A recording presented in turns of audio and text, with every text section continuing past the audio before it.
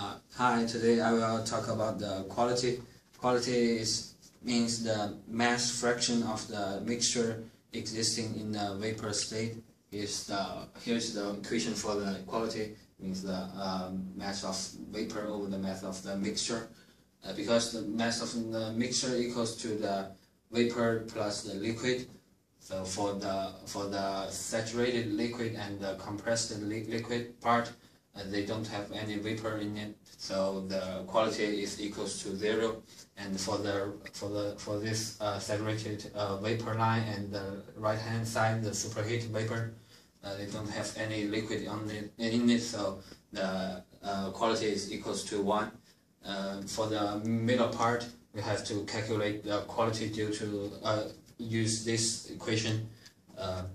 for this equation, the beta is represented to any uh, any mass specific property such as uh, U, H, or V.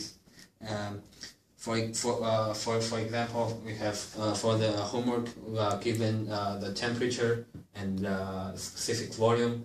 Uh, we have to find the uh, enthalpy.